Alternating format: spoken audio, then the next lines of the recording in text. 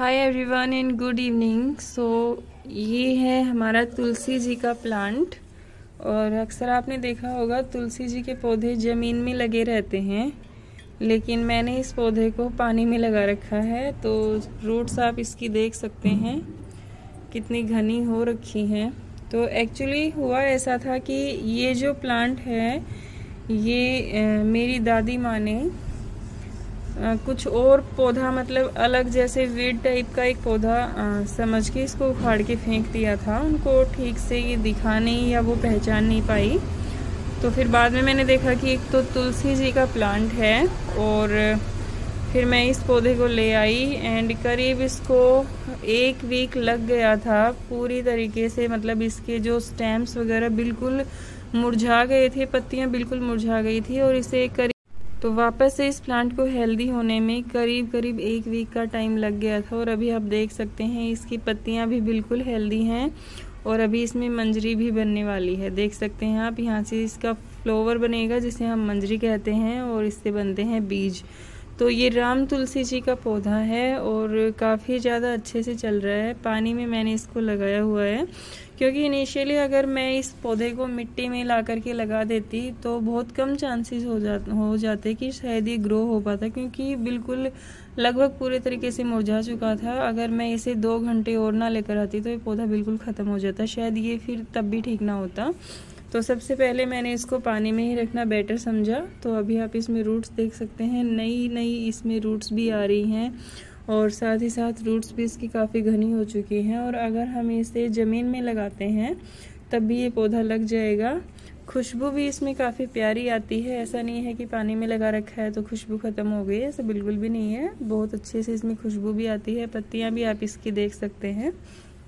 सो so, completely एक healthy plant है और इसे हम ज़मीन में लगा सकते हैं। बहुत अच्छे से चल रहा है ये और पत्तियाँ अभी इसके ऊपर थोड़ा सा डस्ट हो रखा है थोड़ा साफ़ तो थोड़ा इसे साफ़ करने की ज़रूरत है। बाकी बहुत अच्छे से चल रहा है और इसमें देखिए, आप पानी जो है, इसका कलर चेंज हो चुका है क्योंकि मुझे करीब वन वीक हो गया है इसका पानी बदले। तो इसको मैं यहाँ तक भर के रखती हूँ। अब देखिए, इसका वाटर लेवल भी कम हो गया है। तो करीब मैं इसको यहाँ तक यहाँ तक इतना भर के रखती हूँ। So with in one week इसका जो पानी का लेवल है वो भी कम हो गया है, नीचे आ गया है, साथ ही साथ जो पानी है इसका कलर भी चेंज हो गया है तो वापस से इसमें हम साफ़ पानी भर के रख देते हैं। करीब मैं इसका चार से पाँच बार पानी भी चेंज कर सकती, कर चुकी हूँ, और ये देखिए लंबी लंबी पत्तियों वाला काफ़ी प्यारा प्लांट है ये।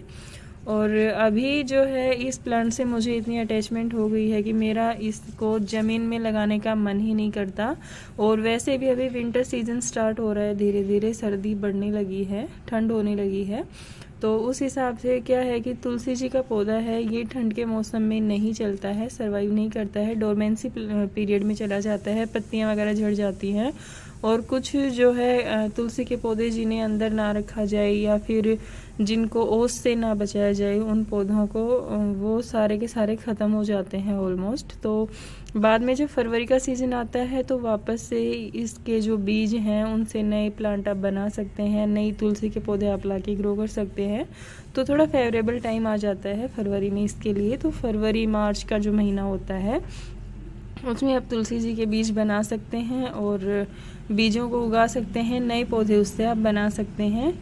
तो ये वाला जो है, इसको मैं ओस से बचा कर रखूँगी। अगर मैं इसको ज़मीन में लगा देती हूँ देन डेफिनेटली इसके ऊपर ओस आएगी या फिर सर्दियों में कई बार बारिश भी होती है, कई बार ओले भी आ जाते हैं।